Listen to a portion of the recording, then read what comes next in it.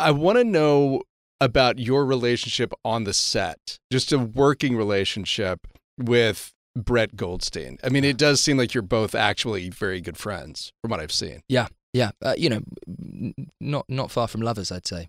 Yeah. that's a whole that- that. uh, that's a whole other spin. Because a lot of times when they're on, when you two are on, I'm like, kiss, Kiss. kiss. That's in the deleted scenes.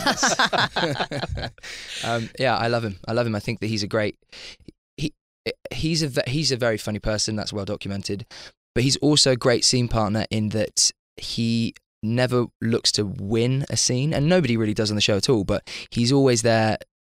He wants the scene to win. If that's, I mean, that's such a sort of maybe cliched or lame thing to say, but you know, I'm, I'm good at saying that stuff. But uh, I think that it's it's really that he he just wants the best for what the scene is, and he will really get make sure that you have everything you need.